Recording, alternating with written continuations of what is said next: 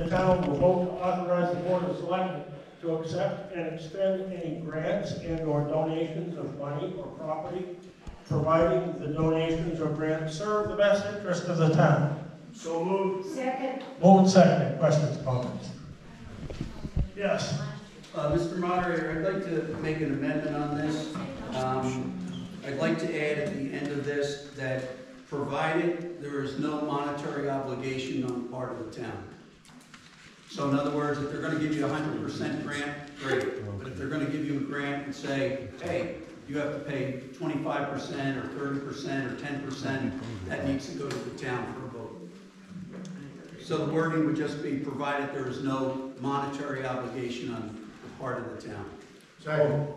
Okay, it's been moved and seconded to add Joe's, uh, uh, clause at the end of Article twenty-six, provided that there is no monetary obligation on the part of the town. Um, Moved and seconded, questions, comments? Yes, way that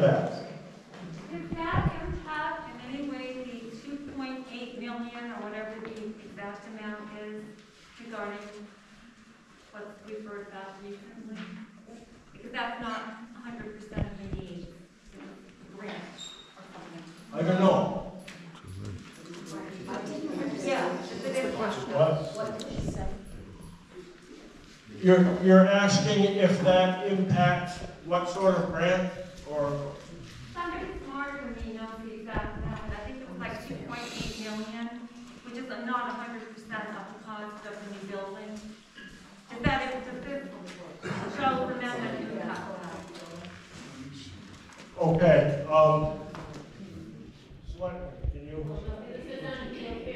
Yes, sir, yes, sir. That's the fire chief for the exact, I think it's two point eight nine. Fire chief, what is the amount of the, uh, grant for the, Amount was two point nine eight million dollars. This won't affect it, but if you do that, and put a, a cap on it.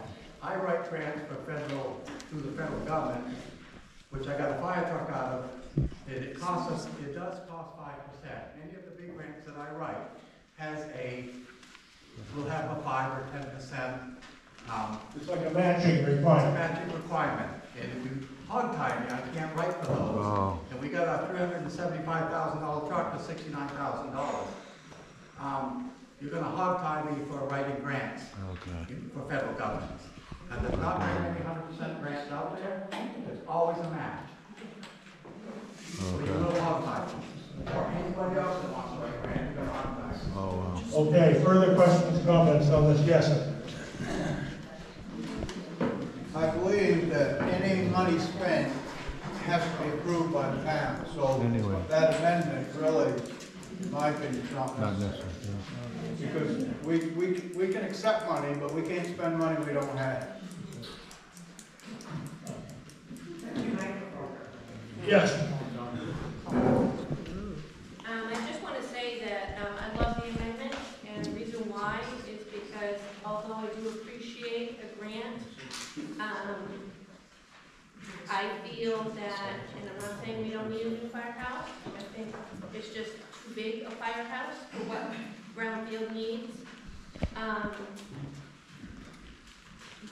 this grant will allow us to perhaps maybe get a peek at what the grant is before we say yes to what, what's coming. Um, Fryeburg, for example, um, just had this go through for their municipality or new complex they wanted to go through. They were given a heads up as to what their complex was gonna look like and if they wanted to go through with it. And, and as a resident, I don't know about anybody else, but I never saw anything about this grant and what was coming and that we were gonna have an over three million dollar building fund, and that, excuse me, um, that we were going to incur sizable amount of money to pay for monthly fees, um, potential fees coming down the road for employees, that sort of thing. It's all things that we need to take into consideration, and we weren't given that opportunity before we accepted the grant. And I think that we should have been given that opportunity. okay, any, any further questions on, uh, on Joe's amendment to add the words, provided there is no monetary obligation on the part of the town. Joe? Um, I just want to say, I'm not trying to hogtie anybody, but we do have to give forethought to what we're going to apply for, much like we did with Article 42 last year for the community center. Now, no money was supposed to be collected for that because it was based on if the select board decided to apply for a grant. Um, But we could do that with any of these. You know, we can think ahead and we can decide what we need to apply, uh, for which grants or donations we need to apply for, and ask the voters if they're gonna be willing to contribute that percentage, whatever it might be. I think we've heard some thoughtful comments on both sides of the matter. Are we ready to vote on the amendment? Yes. All those in favor of Joe's amendment?